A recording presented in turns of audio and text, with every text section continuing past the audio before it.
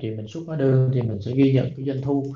À, nhưng mà nhưng mà ví dụ như khách hàng mà họ cho mình à, ví dụ như mình cho khách hàng họ họ trả chậm hay là họ trả thiếu hay là họ trả góp thì cuối cùng mình sẽ ghi nhận một cái khoản gọi là khoản phải thu. Khoản phải thu. Như vậy thì về mặt uh, tài chính về mặt pháp luật về mặt lý thuyết thì mình vẫn phải ghi nhận trên cái cái dòng tiền uh, trên cái báo cáo kinh doanh của mình đó là doanh thu ở trường đó chứ mình không mình lại không ghi nhận cái cái cái cái số tiền mà mình thực thu mà mình ghi nhận thêm thu. À, như vậy thì doanh thu nó không phải là số tiền thực thu mà thực thu. Còn ví dụ như là chi phí chi phí thì khi mà mình à, à, đi mua hàng mình đi mua hàng thì à, cái cái cái, cái à, nếu như mà mình mua với một cái số lượng lớn gặp những cái đối tác cung cấp à, hàng hóa dịch vụ cho mình thì đôi khi họ sẽ cho mình uh, mua chịu mua thiếu hay là trả góp trả chậm. Thì cuối cùng nó hình thành ra một cái khoản gọi là khoản phải trả. Đó, nhưng mà khi mình mua hàng anh xuất hóa đơn thì người ta vẫn ghi nhận là vẫn phải ghi trên cái tờ hóa đơn đó là là là, là bao nhiêu tiền chừng đó chừng đó chừng đó. Chỉ có điều là trong thực tế mình có phải trả chừng đó hay không á thì thì thì thì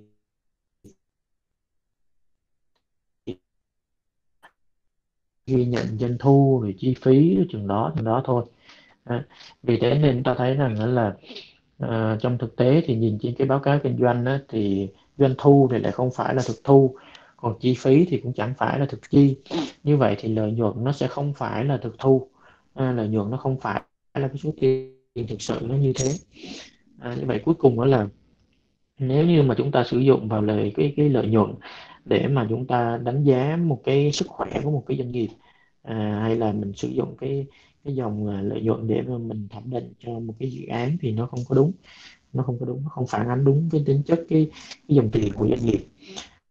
À, với thứ hai nữa đó là ta thấy là trên cái, cái báo cáo kinh doanh nó có một cái khoản mục ví dụ như là à, khấu hao khấu hao tài sản cố định. À, thì chúng ta thấy là đối với những cái khoản mục chi phí khác như cho nó cho, cho chi phí thì tiền này nó đi ra hàng ngày của doanh nghiệp. Ví dụ như là trả lương cho công nhân viên trả lương cho cho cho cho giám đốc ờ, quản lý công nhân bảo vệ hay là uh, chi phí gì đó. Thì mình trừ cho chi phí mà thì nó ra hết nó ra hết họ doanh nghiệp. À, tuy nhiên thì ừ, cái cái cái khấu hao á, mình trừ đi cho cái khấu hao thì nó đi đâu? Nó đi đâu? Thì thì nó nó nó thực ra thì nó chẳng đi đâu cả cái khấu hao mình trừ trong cái báo cáo kinh doanh đó, chẳng qua nó chỉ là một cái bút, bút toán mình ghi nhận như vậy thôi.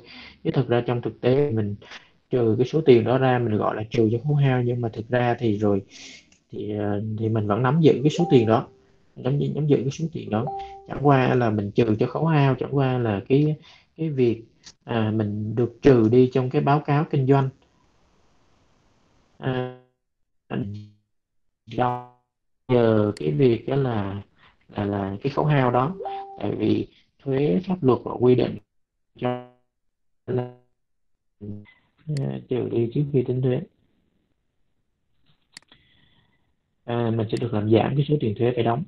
À, chứ thực ra thì cái cái, cái khấu hao đó mình không có chi ra. Mình dấu trừ nó giống như các cái khoản chi phí khác nhưng thực ra thì mình không có chi ra tại vì liên quan tới cái tài sản cố định ban đầu. tổ chức liên quan tới cái tài sản cố định ban đầu khi mà mình uh, khi mà mình mình mình mình uh, đầu tư nó một lần. Thì bây giờ mình trừ ra mình lấy lại thôi chứ thực ra mình không có trừ tiếp nữa. Vì vậy nên là cái cái cái lợi nhuận đó thì mình thấy là nó doanh thu trừ cho chi phí rồi trừ khấu hao rồi này kia đóng thuế này kia cuối cùng ra được cái lợi nhuận.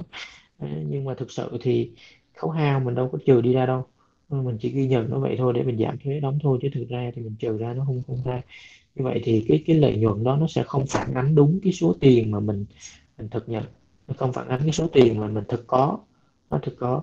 Ờ, và chẳng bao giờ nó phản ánh chính xác cái số tiền mình thực có cả. À, trong nên đây đó là chúng ta đọc những cái báo cáo kinh doanh của cái công ty gì đó mà mình chơi chứng khoán cổ phiếu thì mình nhất chất mình cũng phải hiểu là nó là như thế. Cái báo cáo kinh doanh đó nó chỉ nó nó chỉ đối phó với cái, nó chỉ báo cáo cái tình hình kinh doanh nó như thế thôi. Ờ, ờ, tụi thì khoảng phải thu phải chi phải trả này. Được một ờ, cái cái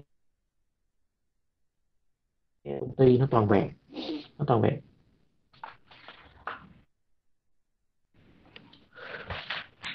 Vì những cái lý do đó nên là chúng ta không có sử dụng cái dòng lợi nhuận. Nhưng mà chúng ta xem cái cái slide tiếp theo à, cùng một cái ví dụ này. Nhưng mà người ta phân tích cái cái hiệu quả tài chính dựa trên lợi nhuận hay là dựa trên cái à, cái à, dòng tiền. Rồi sau đó tính cái chỉ tiêu hiệu quả tài chính như là NPV thì cuối cùng là nó đưa ra những cái kết quả rất là khác nhau. Một cái NPV của cái dòng lợi nhuận á, thì là 348 còn cái NPV của cái dòng tiền ấy, thì chỉ có 176 thôi. 76 thôi. Nó đưa ra những cái kết quả rất khác nhau. Mà NPV là nó nó thể hiện là cái hiện giá thu hồi thuần trên một cái lãi suất một cái uh, suất sinh lời. À, mà nếu như mình sử dụng cái ờ, dòng tiền nếu như mình sử dụng cái dòng tiền ấy, thì tiền nó phát sinh ra những cái thời điểm khác nhau thì nó đưa ra những cái giá trị khác nhau à, còn nếu như mà là lợi nhuận á, thì giá trị nó khác nhau ở những thời điểm khác nhau. Nếu như nếu như mà mình sử dụng cái cái giá trị lợi nhuận. Vì thế nên mình thấy rằng đó là mình thấy rằng đó là nếu như mà mình sử dụng cái dòng tiền thì nó đưa ra cái kết luận khác nhau sử dụng cái à, lợi nhuận thì đưa ra kết luận khác nhau. Như vậy thì cái kết luận nào là cái kết luận đúng? Thì đương nhiên đó là nếu như mà mình sử dụng cái dòng tiền thì nó sẽ đúng hơn đúng hơn cái dòng lợi nhuận nó không phản ánh chính xác cái số tiền ở thời điểm đó. Nó dùng à, dùng tiền nó mới phản ánh chính xác thời điểm đó. Còn còn còn về lý thuyết mà mình cứ sử dụng cái dòng lợi nhuận này kia thì cuối cùng nó đưa ra một cái kết luận rất là sai rất là sai. Tại vì tiền nó có giá trị thời gian nếu như mà nó không đúng là cái số tiền mà thực nhận ở thời điểm đó mình không có thời điểm đó mình cho rằng nó có giá trị cho thời gian như vậy thì cuối cùng là nó đưa ra cái, cái kết luận rất là sai. Một số những cái quy ước khi mà chúng ta lập cái dòng tiền. Cái quy ước thứ nhất là uh, chu kỳ của dự án trong dự án thì được tính theo năm. À, tính theo năm. À, vì sao như thế? Vì là à, dự án ta là là một cái dạng đầu tư dài hạn. Đầu tư dài hạn là đầu tư à, trên một năm thì được gọi là đầu tư dài hạn. Như vậy nên chu kỳ của dự án thì được cũng được tính theo năm tính theo năm. Chứ còn dưới một năm thì được xem như đầu tư ngắn hạn từ ngắn hạn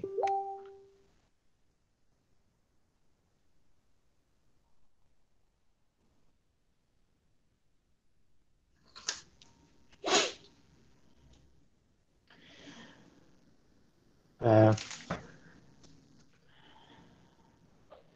vì thế nên khi mà chúng ta lập dùng tiền thì tất cả những cái um, cái khoản mục nào mà nó phát sinh trong năm á, thì chúng ta cũng đều uh, đưa nó vào cuối năm. Ờ, và chúng ta đều cho nó chịu một cái lãi suất theo năm một lãi suất theo năm. Vì nó là đầu tư dài hạn đầu tư dài hạn. À, ví dụ như trong năm đó mình có thể có rất là nhiều những cái số tiền phát sinh trong năm đó. À, ví dụ như là chi phí rồi doanh thu này kia. Bán hàng từng ngày từng ngày từng giờ thì chúng ta cũng có hóa đơn này kia. Thì nó có tiền đi vào đi ra ngày giờ như thế. Nhưng mà nhìn chung tóm chung lại là mình chỉ đưa nó về cái theo năm thôi theo năm thôi chứ mình không có, có tính từng ngày từng giờ như thế. Còn nếu như mà mình vay tiền của ngân hàng mà mình vay theo năm theo tháng gì đó thì nếu như mà mình tính tính ờ, lãi suất của ngân hàng thì mình cũng quy nó về cái lãi suất theo năm. Lãi suất theo năm. Nhưng mà thực sự thì nếu mình vay ờ, ngắn hạn thì nó nó nó nó nó nó nó nó, nó chỉ là vay uh, tiêu dùng hay là vay um, vay trong vốn lưu động thôi. Thì nó cũng xem như nó, nó, cũng không thể phải là dài hạn rồi cái cái khoản tiền chi ra thì mang dấu trừ cái khoản tiền đi vào thì mang dấu cộng. Thì uh, đó là những cái quy ước. Uh, có một số những cái uh, sách khác hay là những cái giáo viên khác thì người ta thường họ cũng có hay quy ước uh, theo một cái kiểu là số tiền uh, đi ra thì là một mũi tên đi xuống. Một số tiền đi vào thì một mũi tên đi lên. Thì tùy người uh, theo một cách trực quan nó khác nhau thì kia là khác nhau thôi nhưng mà đa phần thì những cái mũi tên đi vào thì mang dấu ờ, cộng ra thì mang dấu trừ. Góc biểu đồ góc biểu đồ là cái góc ờ, ngân lưu cái góc của cái dòng tiền dự án thì mình lấy cái góc là cái thời điểm nào cái thời điểm nào?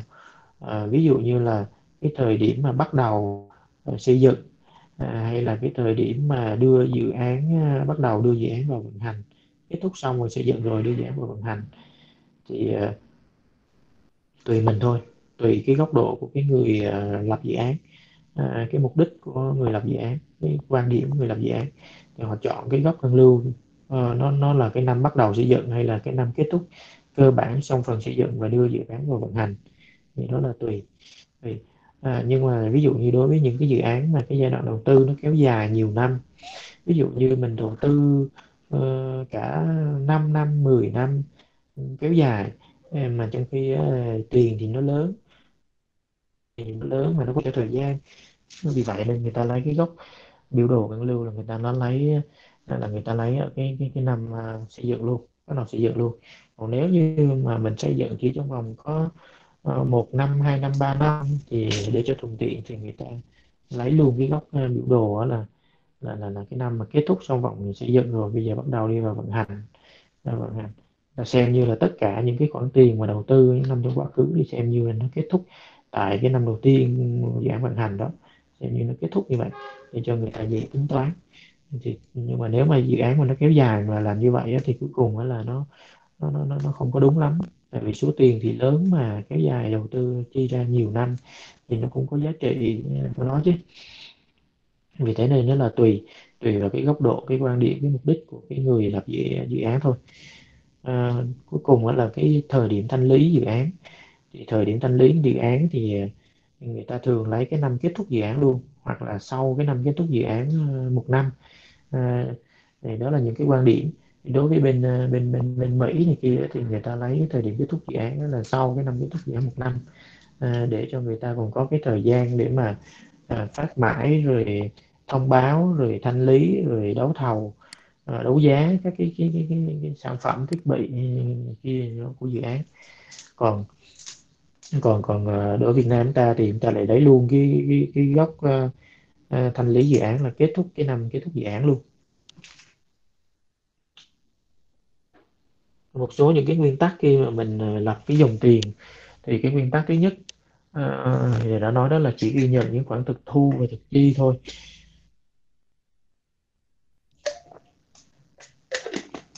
Có nghĩa là à, doanh thu hay là lợi nhuận gì thì cuối cùng mình phải điều chỉnh nó trở thành cái khoản thực thu hay thực chi chứ mình không có lấy những cái mình không có lấy cái nguyên đó tại vì nó không phải là thực thu thực chi thì đó là cái nguyên tắc thứ nhất.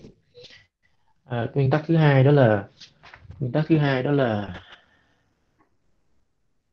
vì sao mà doanh thu phải là thực thu? Thì tại vì nó có cái khoản phải thu. Vì sao chi phí không phải là thực chi? Tại vì nó có cái khoản phải trả. Vì chính vì thế nên đó là chúng ta không có chúng ta phải điều chỉnh nó lại là dòng tiền. Cái nguyên tắc à, à, hai nguyên tắc tiếp theo đó là chi phí cơ hội chi phí chìm. Đó là khi mà mình làm dự án thì uh, là một cái phương thức đầu tư. Nhưng mà phương thức đầu tư của mình thì không thể nào không có chi phí cơ hội được. Mà chi phí cơ hội thì mình phải nhớ đưa vô. Chứ nếu không là mình sẽ đưa ra một cái kết luận sai. Kết quả sai mất và chúng ta phải luôn luôn nhớ cái chi phí cơ hội.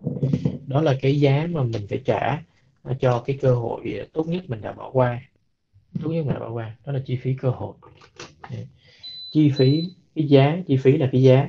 Hay là chi phí cho cái cái cái cái cơ hội tốt nhất mà mình đã bỏ qua.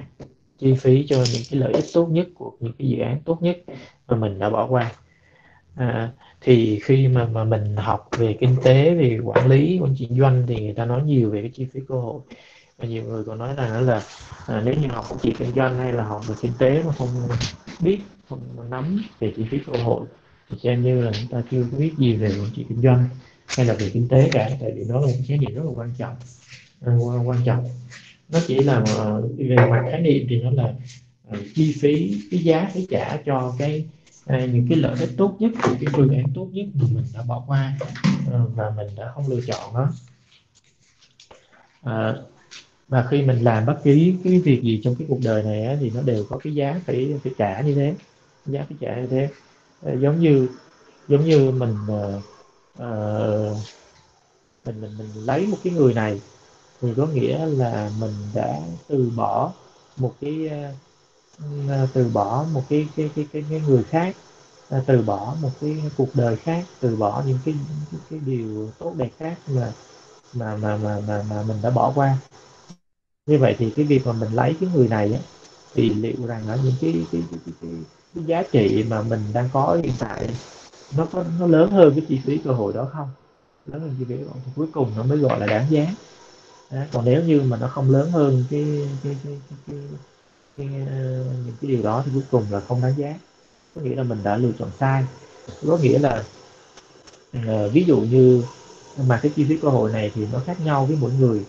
Ờ, ví dụ như ngày xưa khi mà cái ông uh, uh, Steve Jobs uh, ông đang học trên cái cái cái cái, cái ghế đại học trên giảng đường đại học thì khi mà ông đang học mới có năm nhất rồi tới năm hai thì ông ông trong cái thời gian ông học thì ông thấy học những cái kiến thức rồi những cái này kia rồi nó nó quá là là nhiều và nó quá là rộng và, và nhiều lĩnh vực là bao quát.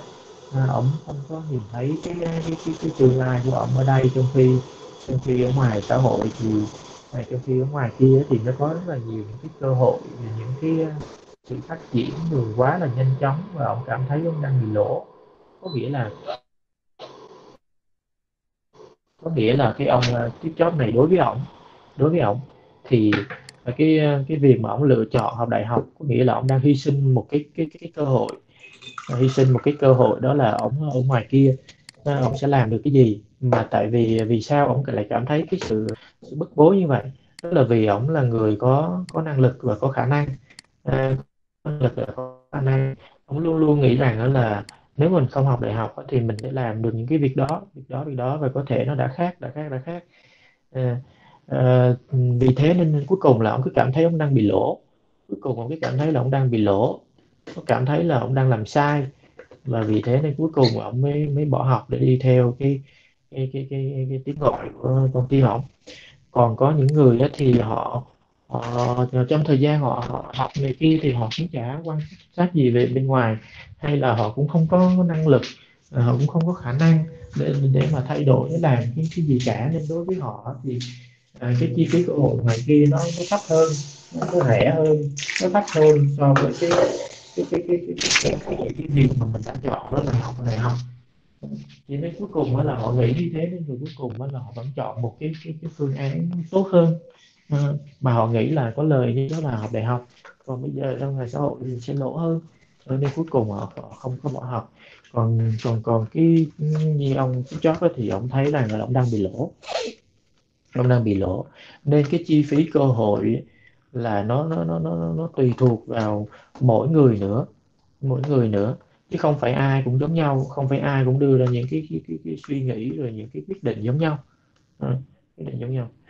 Ừ, chứ chứ không có cái cái nào là nó nó nó, nó tuyệt đối cả.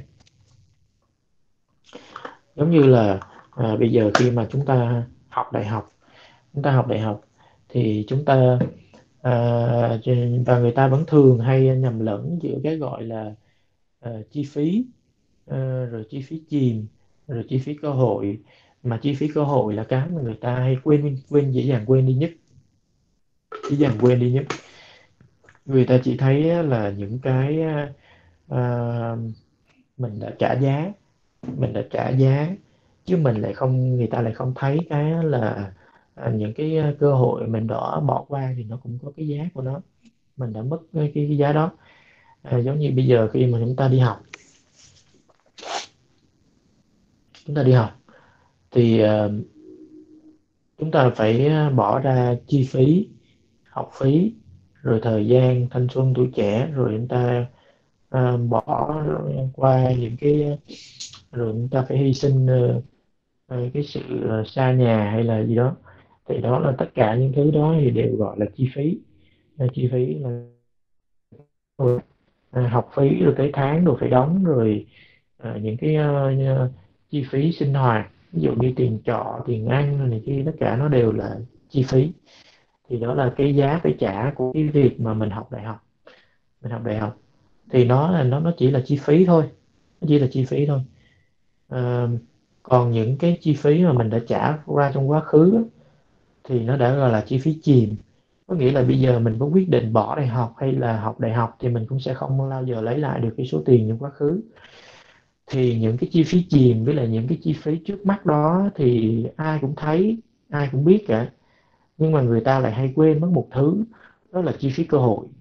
À, đó là mình quên mất rằng là nếu như mình không học đại học thì mình có thể lấy cái số tiền này rồi thời gian này rồi sức lực này tuổi trẻ này trí óc này thì có thể làm được những cái việc nào việc khác việc gì những cái việc mà mình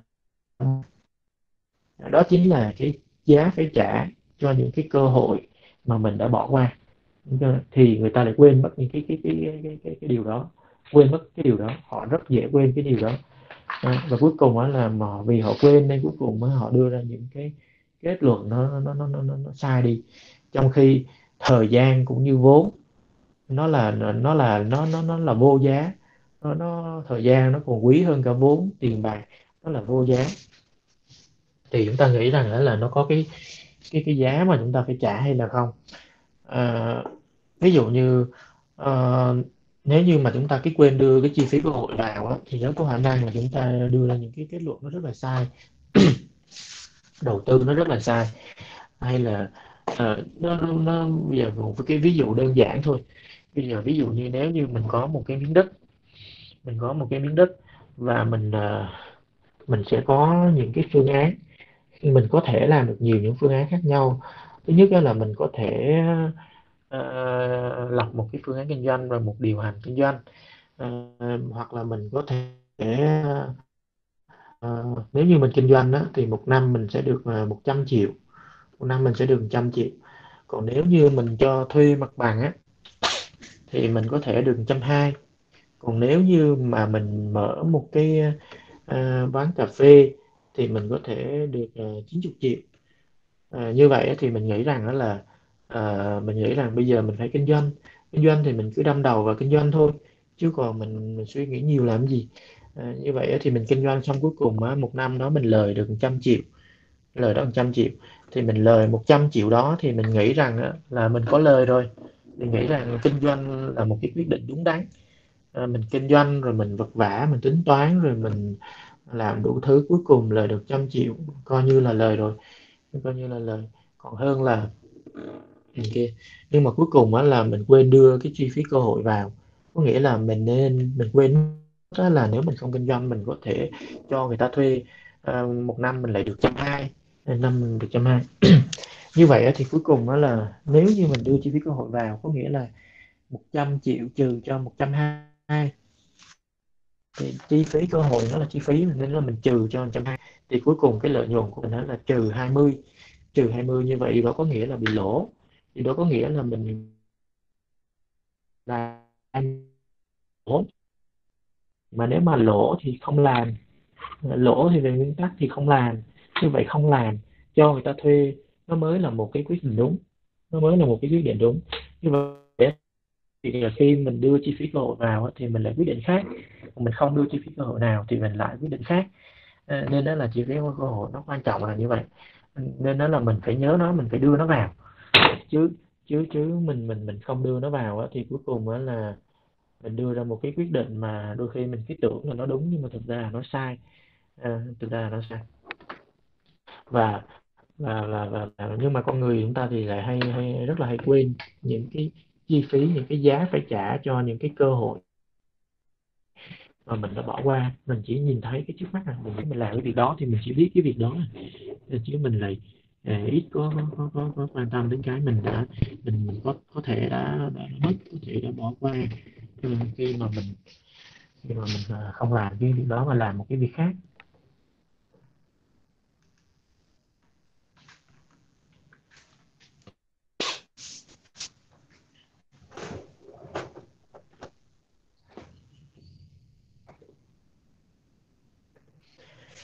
đó là chi phí cơ hội. Nhớ đưa cái chi phí cơ hội vào. Tiếp theo đó là cái chi phí chìm. Chi phí chìm. Cái chi phí chìm là những cái chi phí mà mình đã bỏ ra trong quá khứ nhưng mình không thể lấy lại được nữa rồi. Nhưng mà vì mình cứ bỏ qua mình nhưng mà vì mình đã bỏ qua rồi mình ngay cái thời điểm này là cái thời điểm mà mình phải đưa ra cái quyết định là có làm hay không làm. À, nhưng mà vì à, nhưng mà vì chúng con người chúng ta hay thường sống trong quá khứ nhiều hơn là sống với tương lai. Chúng ta hay tiếc nuối những cái điều đã mất hơn là những cái điều hơn là chúng ta hay nghĩ về những điều chúng ta sẽ có trong tương lai. Con người là vậy. À, chúng ta vẫn thường nên đó là người ta hỏi người ta bảo rằng đó là hình như bộ não bộ khoa học người ta, ta nghiên cứu và người ta nói là bộ não con người nó có cái hiện tượng bị lệch bị lệch. Nó lệch về những điều tiêu cực nó lệch về những điều uh, những chuyện buồn hơn là những vui. Nó lệch về uh, những cái mất mát hơn là những cái mà có được. À, nên rồi cuối cùng mới là con người nhớ những cái chi phí chìm hơn là những cái cái cái chi phí cho cái những cái cơ hội những cái cơ hội. À, khổ nổi là vậy. Mà chúng mà chi mà cái chi phí chìm á là cái cái những chi phí mà mình đã bỏ ra trong quá khứ mà mình không có, có lấy lại được không có lấy lại được nữa nhưng mà mình cứ tiếp về cái đưa vào. Và đưa vào thì cuối cùng nó cũng đưa ra cái quyết định sai luôn. À, à, giống như là à, bây giờ mình mình đứng trước một cái quyết định mình đứng trước một cái quyết định là là là là, là có nên à, bỏ học để theo bố mẹ đi qua Mỹ hay không? Qua Mỹ không? À, qua Mỹ nó là một cái tương lai là một cái tương lai và là một cái tương lai nó nó nó có, có thể là mình đã được đảm bảo và thể nó đã tốt đẹp hơn rồi. Nhưng mà mình đang học là sắp ra trường mà. Sắp ra trường mà trong khi bây giờ đi qua cái thời điểm này á, thì nó nó, nó nó phù hợp. Chứ chứ mà đi trễ hơn một xíu thì mình sẽ không có qua được. À, hoặc là có khi là tại vì chẳng qua được. Mình biết như thế. À, mình biết như thế. Nhưng mà nhưng mà vì mình mình mình tiếc mình tiếc mình tiếc ờ, và mình biết rằng đó là học cái tấm bằng này ra ra trường thì cũng sẽ không có có áp dụng được ở bên Mỹ. À, người ta cũng không có à, người ta cũng cũng à, người ta cũng không có có có, có, có coi trọng lắm à, ngoài cái năng lực của mình. À, nếu mà và mình biết rằng là mình có cố gắng lấy cái bàn này thì qua bên đó thì cũng để tượng trưng thôi và cũng để kỷ niệm thôi chứ chứ cũng không có dụng gì. Nhưng mà nhưng mà mình sẽ tiếc mình sẽ tiếc những cái cái cái, cái công sức mình đã học mình đã bỏ ra trong quá khứ những cái tiền mình đã đóng học phí đã chi tiêu ờ, những cái công sức. Chẳng lẽ bây giờ chẳng được cái gì? Chẳng lẽ là công cốc? Ờ, chẳng lẽ là, là uh, chẳng lẽ là là, là là là chúng ta không có không được, có được cái gì? Có nghĩa là chẳng lẽ là những cái năm tháng vừa qua nó là phí ngoài phí. Rồi cuối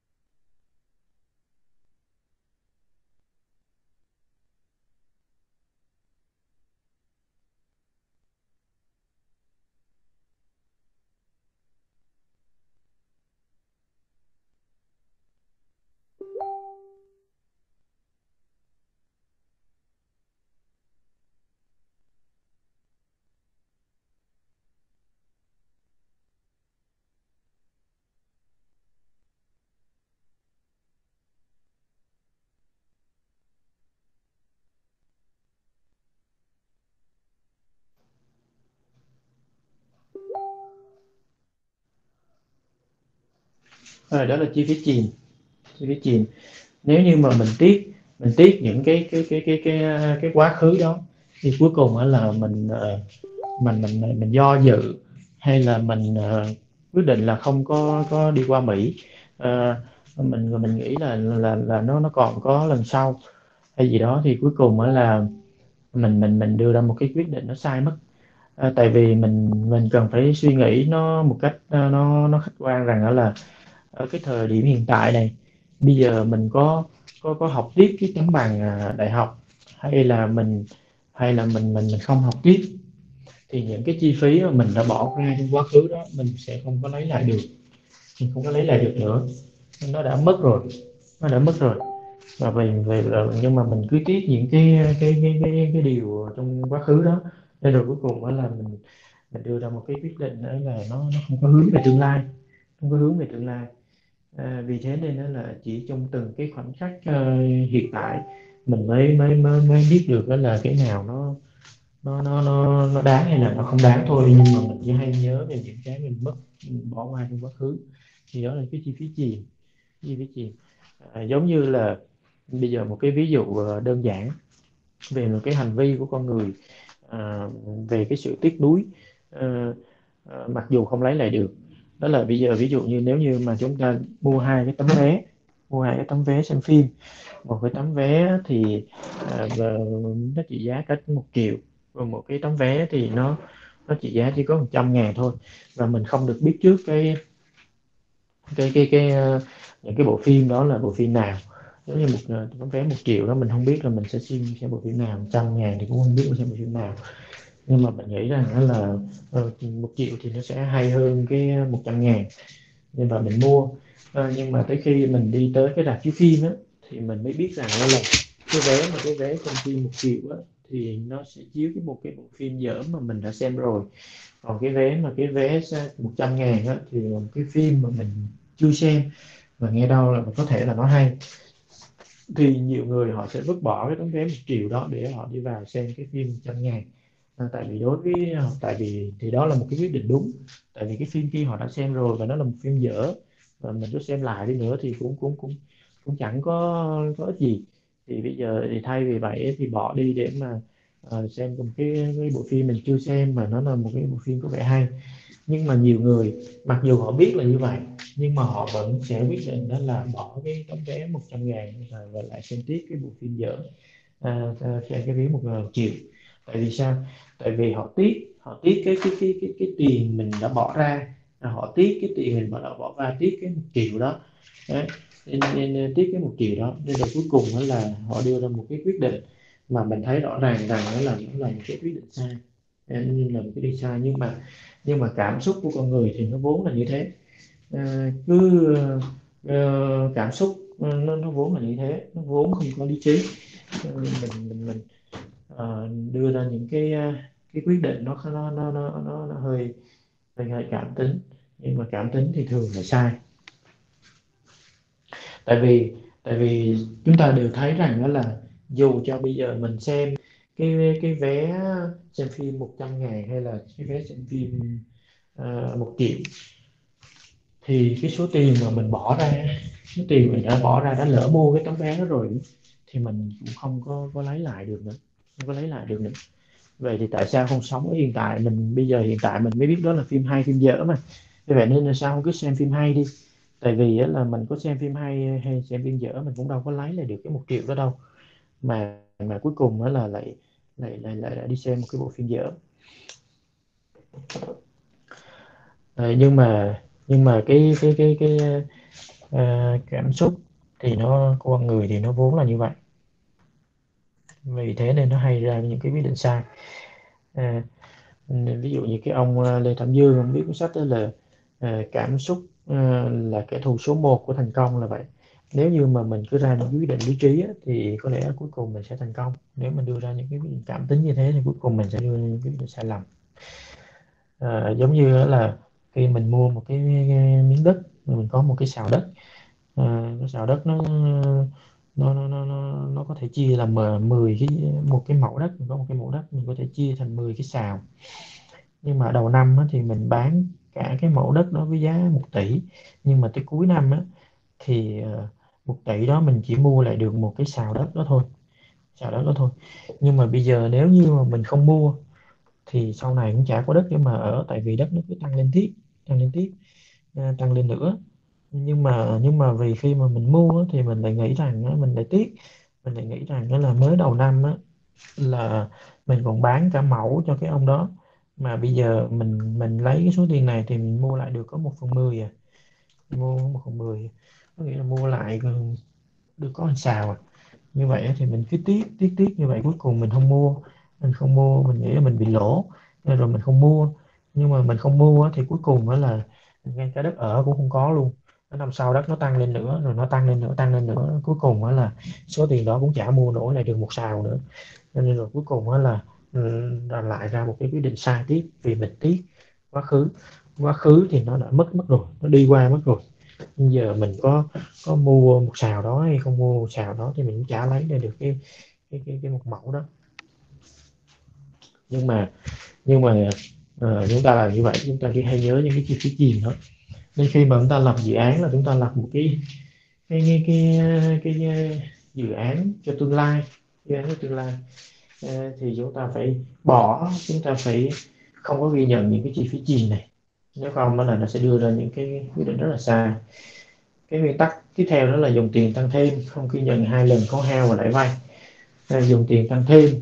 Dùng tiền tăng thêm đó là có nghĩa là khi mà chúng ta lập một cái Ờ, thẩm định trên cái dòng tiền của một cái dự án thì chúng ta phải lập một cái dòng tiền uh, được gọi là tăng thêm. Ví dụ như là mình uh, dự án A với dự án B thì nếu làm A uh, thì phải bỏ cái dự án B thì nó hơn B ở cái điểm nào. Rồi, rồi ví dụ như nếu là làm hay không làm thì nó nó nó khác nhau ra sao đôi khi chúng ta sẽ không có đủ số liệu thời gian rồi khi để chúng ta lập ra hai cái dòng tiền riêng biệt của hai phương án độc lập nữa rồi chúng ta so sánh. Mà chúng ta chỉ có đủ số liệu hay là chúng ta chỉ có thời gian để chúng ta uh, lập ra một cái dòng tiền tăng thêm thôi. Tiền tăng thêm. Thì cái dòng tiền tăng thêm nó chính là cái cái ờ, làm hay là không làm hay là A hay là B B hay là C thì nó đều là tăng thêm cả rồi không ghi nhận hai lần khấu hao và lãi vay. À, thì đó là cái cái cái cái, cái nguyên tắc. À, mà mà sau này chúng ta sẽ nói. Đó là khấu hao và lãi vay ờ, trên cái khấu hao thì mình đã ghi nhận ở trong cái dòng tiền đầu tư rồi. Ghi là đầu tư và tài sản cố định thì mình đã đã, đã, đã, đã, đã ghi là đầu tư như thế. Còn lãi vay lãi vay thì mình lại ghi trong cái dòng tiền tài trợ rồi. Nhưng mà tại vì tới cái phương thức kinh doanh thì mình lại ghi nó thêm một lần nữa mình ghi nó thêm một lần nữa. À, tại vì là khấu hao với lãi vay được ghi nhận vào trong cái báo cáo kinh doanh được trừ đi trước khi tính thuế à, thu nhập doanh nghiệp. Mình được giảm cái số tiền thuế như thế nên nữa là mình đưa nó vào. Nhưng mà mình đưa nó vào thì vô hình dung thì mình lại à, vô hình chung thì mình lại à, à, ghi nhận hai lần ở hai cái dòng tiền mất. Nên rồi cuối cùng là nó nó nó nó sau khi mà mình tính thuế rồi lợi nhuận xong xuôi rồi thì mình phải trừ với nó đi. Trừ với nó đi. Không được ghi nhận hai lần. Một số những cái quan điểm ờ, về lập dòng tiền của dự án. Mình đang ờ, cố gắng lập quan điểm dòng tiền dự án theo cái quan điểm ờ, equity có nghĩa là chủ sở hữu. Có nghĩa là chủ doanh nghiệp có nghĩa là doanh nghiệp. Còn cái cái, cái, cái theo cái quan điểm là À, uh, TAP đó là quan điểm của ngân hàng quan điểm của nền kinh tế rồi quan điểm của ngân sách nhà nước uh, là economist với lại uh, Burgess. Thì nó nó nó chính là theo những cái quan điểm khác nhau. Theo cái quan điểm của của chủ sở hữu thì mình chỉ ghi nhận khoản thực thu thực chi chi phí cơ hội trợ cấp thuế như mình nói vay và trả nợ à, xong xuôi trừ đi những cái khoản uh, Ờ, tất cả những quan đó thì cuối cùng mình có lợi nhuận bao nhiêu? Thì đó là cái ờ, theo quan điểm của chủ sở hữu chủ sở hữu. À, nhưng mà theo cái quan điểm của ngân hàng ấy, thì người ta sẽ không có có có có, có theo cái quan điểm của mình. À, theo quan điểm ngân hàng đó, thì khi người ta lập cái dòng tiền của dự án mình cũng lập dự án họ cũng lập dự án. Nhưng chỉ có điều đó là cái cái quan điểm của họ là khác nhau. Cái quan điểm của họ là nó chỉ tới cái đoạn đó là thực thu thực chi chi phí của hội trợ cấp thuế này kia xong xuôi hết thôi. Rồi họ xem á là có có có đủ tiền để mà trả vay và trả nợ cho họ hay không? Hay không? Nếu mà còn đủ vay trả nợ cho họ thì họ cho cho cho vay. Chứ họ không quan tâm tới cái việc là sau khi mà trả tiền vay và trả nợ cho họ rồi ấy, thì còn à, doanh nghiệp còn lại bao nhiêu lợi nhuận? Người ta không quan tâm à, họ không quan tâm tới cái việc đó. Họ chỉ quan tâm là có tiền trả lại cho họ hay không mà thôi.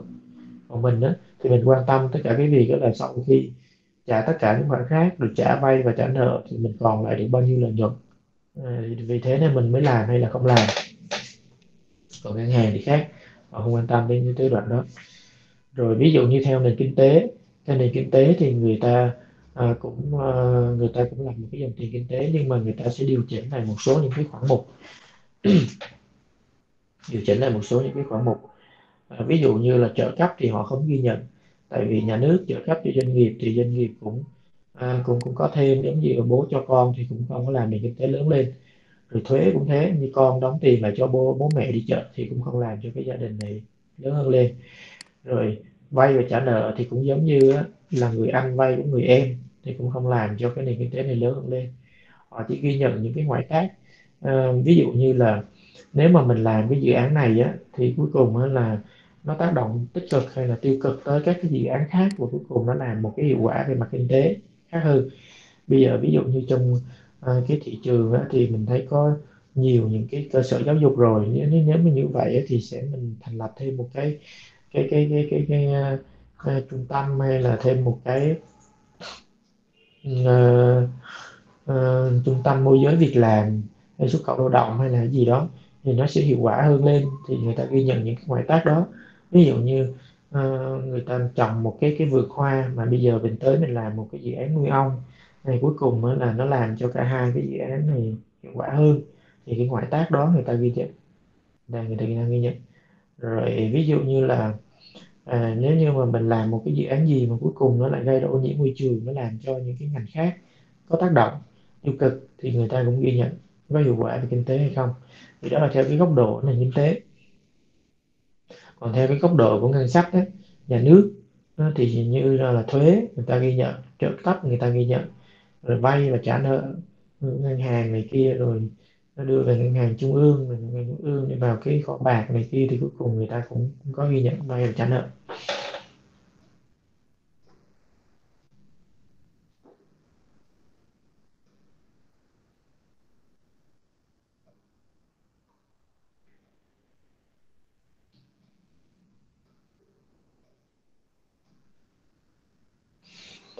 Hôm nay chúng ta học tới đây. Hôm sau chúng ta sẽ tiếp tục học về cái cái, cái lập dòng tiền. Rồi hôm sau nữa chúng ta sẽ tiếp tục về cái cái bài thực hành và lập dòng tiền. Vậy nha. nhé. Chào chào các em nhé.